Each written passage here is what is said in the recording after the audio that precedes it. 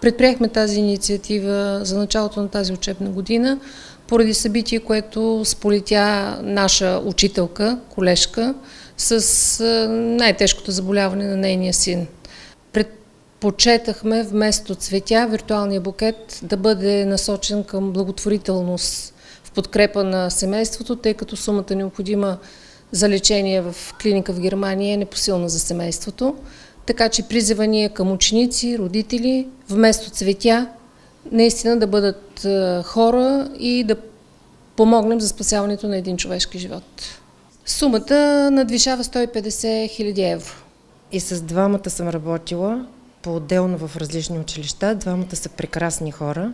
Семейство на двама учители с две прекрасни деца.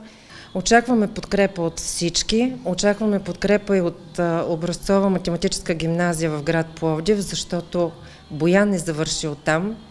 Най-напред тръгнаха училища, училището в Първомай, където е работила Ваня Георгиева и Иван Георгиев. Те са наши колеги сега, но преди това са преподавали там. След това инициативата се поде от Яне Сандански и накрая ние, когато разбрахме вече с официалната диагноза, че се налага отиване в Германия, официално вече обявяваме, че, обяв... че днес ще се разкрие дарителска сметка и започваме събирането на пари. Днес е ден вяра, надежда, любов. Нека в този хубав ден ние да дадем малко топлина и да изразим малко съпричастност към тези наши колеги. Ние знаем, че те не са единствени и сигурно, сигурно тази съдба сполетява много семейства.